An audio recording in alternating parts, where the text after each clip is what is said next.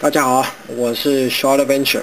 在我之前的 intro 里面呢，我曾经提过说，从现在开始我会陆续的，呃，来介绍一些电影《变形金刚》里面的一些机器人以及他们变身的一些过程。那今天我第一个 video 呢，就要来呃讲解一下啊这一部你现在看到这部黑色的 SUV。那这部 SUV 呢，在电影里面曾经出现过。可是呢，它并不是一个会变成机器人的一部车子，而它纯粹只是一部车子。那这部电影，呃，这个车子你如果没印象的话呢，它就是 Sector Seven 到男主角他们家去把他们一家人抓走的那一部黑色的车子了。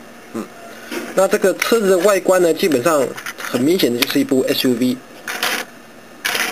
照这个车头来看的话呢，应该像是 Cadillac 的 SUV，可是呢。啊，你所看到的这个呢，它并不是 Cadillac 的 logo，而是呃 Transformer 的 logo 在上面，坏人的那个 Decepticon 的 logo 在上面，非常非常小啊。那很奇怪的点就是，它是个 SUV，可是从后面这个地方看起来呢，反而比较像 minivan，这是我个人觉得比较奇怪的地方哦。那另外一个我个人不是那么满意的就是说。车顶上的这个架子，前面是灰色，后面是黑色。我是比较希望能够看到整个都是黑色，这样会比较好看一点。要不整个都是灰色啊。车子本身全部都是黑色的啊，SUV 啊。那你有旁边呢？这里前面的挡风玻璃，后面以及车头灯呢？他们是用半透明蓝色的塑胶。来呃做的，所以呢，你如果从这边看的话呢，我不知道你看得清楚不清楚，隐隐约约你可以看到里面的一些机器人的一些呃手啊脚啊在里面啊。那它这个另外一个比较不好的就是，也不能说不好，只是说我个人比较鸡蛋里挑骨头吧啊，就是我比较希望我能够去看到是塑胶的轮胎，而不是呃。橡皮轮胎，而不是这个塑胶轮胎，因为它很吵啊，而且很容易把这个桌子给刮花掉。如果你在那边玩甩尾的话，对。不过这是我个人的想看法了。那另外一个它可以做的事情呢，车子能做的事情是不多了。不过它另外可以做的就是，你可以把它后面打开来，后面的行李箱打开来。当然啦。它不像普通的车子，里面可以给你放东西，它里面你看到就是机器人的部分了。所以呢，如果你要把它摆在架子上面呢，我是觉得说，它这样看起来会蛮不错的啊。好，那我们先把它盖起来。基本上车子呢，就大概是这样子了。那你这边左边的门跟右边的门，你都可以看到 Sector Seven 的一个 logo 在这边啊。好，那我们现在就来呃，把它变身到机器人吧。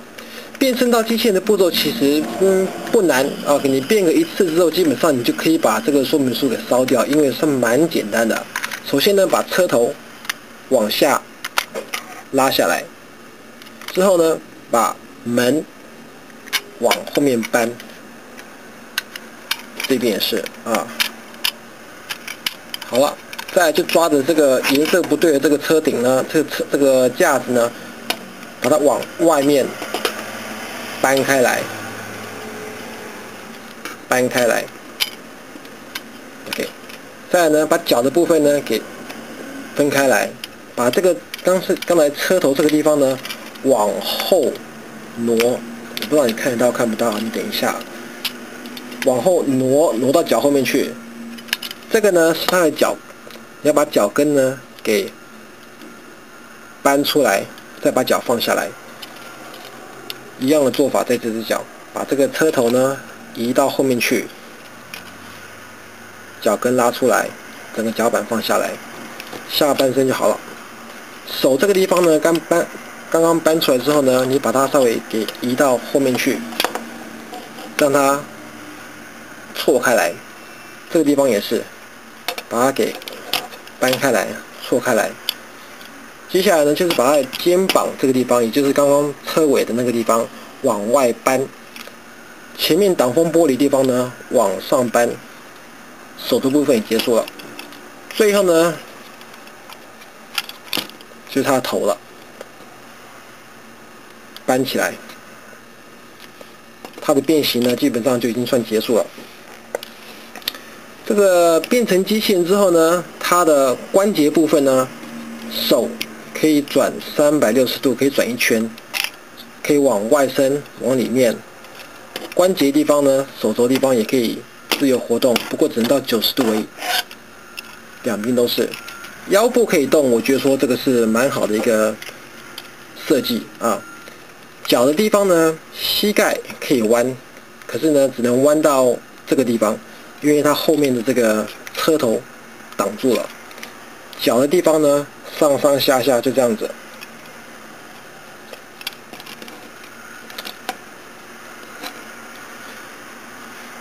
变成机器人之后呢，它另外一个可以呃做到的一个特别地方就是，刚刚我们讲到说，车顶上面那个车架子颜色不一样那个地方呢，它有它的作用。呃，也可以理解为什么它颜色不一样，因为它是个可动性的东西。为什么呢？如果你把这个东西呢，这架架子呢往后面移的话呢，它的手会伸出来。这只手也是一样，所以两边都可以再伸出来。这个伸出来是应该是一个打人的一个动作吧？打架的时候，别人打不到你，你打到别人的一个动作吧？啊，对了，他的手指呢也是可以把它掰开来的。所以你可以让他握支笔呀，握支牙签啊，什么都可以。基本上呢，这个机器人呢看起来还算不错，Stargate 这样整个整个看起来像还算是不错。唯一一个小小的一个 complaint 呢，就是你看看它手比脚长，有点像一个猩猩的样子。那好像他嫌他这个猩猩的样子还不够，他还要去做出这个。手可以伸出来的，那那是不是更像猩猩了？你如果把它再弯下去，那等于说是像这个猩猩在在猩猩机器人吧，应该这么说。所以我是希望说设计上，如果说手跟脚能够有一个好的一个比例的话呢，可能会让它成为一个更好的一个玩具。OK，这是它的背部啊，嗯，车头还是。在那边，它并没有说能够折起来、收起来或怎么样，所以它整个后面后脚的地方呢，就变得稍微大了一点。平均来说呢，这个还算是一个不错的一个一个玩具啊，它能够摆的姿势呢，还算还算不错，因为它腰部可以动，头可以动，手可以动，所以你可以给它摆出一些不错的战斗姿势。所以我个人呢还算是蛮喜欢的，也没有后悔说去花这个钱，呃，在它身上。所以呢，我会建议你说，如果你能够在你的那个呃玩具附近的玩具店看到这一部车子的话呢，请把它带回家吧。他应该会很希望说让你看到他有多猴子啊，多猩猩啊。好，这就是我今天这个 video，希望啊给我一些意见。拜拜。